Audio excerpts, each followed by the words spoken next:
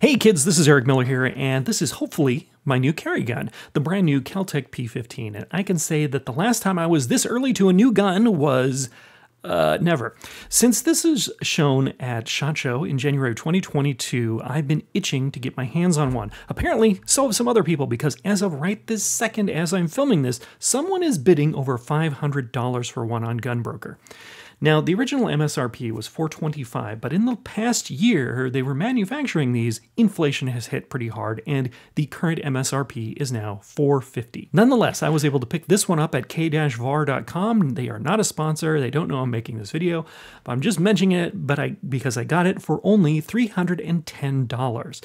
And I'm sorry they're already sold out. Plus $20 for shipping and another $25 at the gun store for the transfer. So out the door, this was $355, and I'm pretty happy with that. So I was very curious about the many mysteries surrounding this gun, and I can now take it apart and share a few of them with you. And at the end, we'll see how it did at the range. For starters, the main reason this gun attracted me so much was the weight and the size and the features and the price. It just all added up to something that I was interested in. So let's stack it up against my old carry gun, the CZ82. Now, I love this gun, it's great, but when I started carrying it again recently, something about it really hit me. It's really heavy. The thing is all steel, and it is really heavy for such a small gun. And if we throw it on the scale here, it is a beefy little boy at 1 pound 8 ounces unloaded, and just under 2 pounds with uh, 12 rounds of 9mm Makarov included. We can see that it's not much lighter than my full-size duty pistol, the LH9. The difference there is that it has an aluminum frame. Surprisingly, the weight on the Keltec is exactly as the website says 14 ounces without a mag, and loaded with 15 rounds of 9mm, it's still lighter than the unloaded CZ82. Let's talk about the grip. It's very small. The gun looks weird because the grip and the frame look like a sub or micro compact size like a SIG P365, but the slide looks like it belongs to a much larger compact gun. The gun fits my extremely medium-sized hands pretty well with the ex extended 15 round magazine and it's very grippy, which is uh, something you really want in any gun, but especially in a smaller carry gun like this.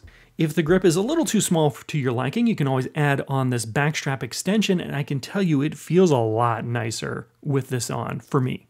The mag release is also pretty low profile and a little stiff, which is exactly what you would want on a carry gun, especially one with the magazine disconnect. This isn't a competition gun, it's not a duty pistol, you're not going to need to be swapping multiple mags within 10 seconds. This mag release is good for its intended purpose as a carry gun. The trigger is pretty nice for a striker gun. There's some take up, it's sponge, sponge, sponge, and then break.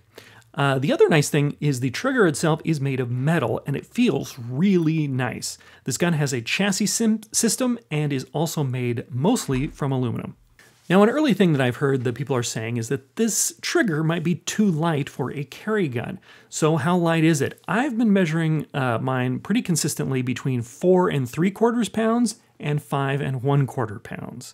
Uh, I would I wouldn't say that that is dangerously feather light. I would say it is pleasantly light. The sights are nice, easy to see, but with uh, not a lot of air in between them, fortunately. They are also all three glow-in-the-dark night sights, so bonus there. The rear sight is adjustable for windage and elevation, and on TFB TV, James mentions that the rear sight is walking to one side as they fired it, and I, I checked mine, and it was loose out of the box. So you will need to put a dab of blue Loctite in it. Slide serrations are very good. The slide treatment is outstandingly mediocre and would probably wear fairly quickly, uh, but time will tell. Another bonus feature we have here is a tactile loaded chamber indicator. One of the gun's mysteries to me was this back piece here. I can confirm it is plastic and not ready for optics. However, removing these four screws allow you to take this off, and what I'm thinking, or rather hoping, is that Keltec will be producing a number of different blocks with different footprints on it for different red dots. Uh, so I'm totally guessing here, but let's say you had a particular red dot, you'd look it up on Keltec's website, purchase the corresponding piece that would replace uh, this back part on the slide. I mean, I don't know. There's nothing on the website yet, so again, this is early days. And now, a word from our sponsor. Get down to the Wiffle Hose and try the new Szechuan Chicken Nugwads, made from 100% Angus beef. Then try on our new and improved Waffle Blouse. Still the same authentic waffle flavor, but now with enhanced waffle texture. Sleeves sold separately. Wiffle Hose, take a whiff. Thanks. Taking the gun apart is similar to other Browning type systems where you pull the slide back a little bit and you can see here on the P15 that a notch in the slide tells you exactly where to put it. And then there's a small groove cut in the slide release that should perfectly fit a spent 9mm case, which you can then use to pry it out. If you have everything in exactly the right spot, this comes out and goes back in super easily. Uh, the trick is just, you know, getting it there.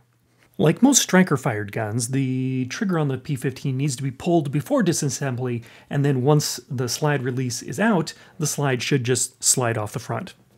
Okay, so to make this gun California legal, we've got two safeties that people don't like. A magazine safety, which I don't like, and a grip safety, which I'm totally okay with. Um, I can see why people would hate the uh, grip safety because the 1911, the most perfect gun ever made, has a grip safety, and that's why grip safeties are bad. In the back of the frame, there's a screw, and if you turn that screw clockwise, you can change which mode the gun is in, and there are three. Mode 1 has all safeties on. Mode 2 has all safeties off. Mode 3, and probably the mode I will use, uh, turns off the magazine safety but keeps the grip safety active. Just as a quick demo, the magazine safety is this little bar on the outside of the mag well. When it's pointing kind of in a downward direction, the gun can't fire. Inserting the magazine will push the bar up, making the gun active. In mode 2 or 3, this bar will stay in the upward or lifted position. In mode 2, the grip safety will also retract, indicating that it's not doing anything. Short story time. Last Mother's Day, or this Mother's, whatever, uh, James from TFB TV gave his mom a gun, a Smith & Wesson EZ in 380. The problem his mom had with this gun was that she needed to have this perfect, really strong death grip on the gun in order to activate the gigantic grip safety. Uh, I don't like that, especially for a carry gun when you may not have time or opportunity to get a super perfect grip on the gun. Okay, so let's find out how strict our grip safety is. So, cock the striker, we will push it all the way in, and we will pull back a little bit, and it's still fired. Good to know. Let's try again. We will pull out a little bit more. Still fired. And we'll give it a little bit more still and now, now it won't fire. So it needs to be in about this far. About, I don't know, 75% of the way in, 80%. That's good. That basically means that if you don't have a perfect grip on the gun and if it's not, you don't have a death grip on the gun, it'll still go. It'll still fire. And uh, that makes me feel better about having this activated. So if we can back up for a second, how can you use the grip safety if you also put the back strap on the gun? Well, fortunately, Keltec included a button extender that will allow you to use both simultaneously, FYI. I mean, this grip module is just feather light. It's very neat. The slide is fairly standard. There are two captive recoil springs and a four inch barrel, which looks huge coming out of this tiny gun. There is a circular clip spring in the front of the slide to keep the guide rod in, and don't mess around with this if you value your sanity. Uh, in the back of the slide, you can see this cylinder thing. That is the end of this screw that's keeping the back cover piece on. So only this screw is very long and very special, and it interacts with the striker. So don't lose the screw. Lastly, let's talk about these mags. So these are 12 round magazines with three round extensions on them, and apparently Keltec has a patent on this new extending technology. I really wanted to see how it worked, but I can't get the thing apart. There's a thing here that you push down and you can start to slide the base plate off, but then the spring gets in the way, and basically I can't get it open without breaking something. So I'm sure there's some, a trick to this somehow, and I'm hoping that somebody in the future will post a video on it. But this magazine is impressive. But it's not a P15 mag. It's a magazine from the P11, the gun this gun replaces. And it's not even a P11 mag. It's a Smith & Wesson 59 series mag, which is cool. A lot of guns have copied the Smith & Wesson design and borrowed their magazines. Uh, like the Daewoo K5, uh, DP51, and Lionheart LH9.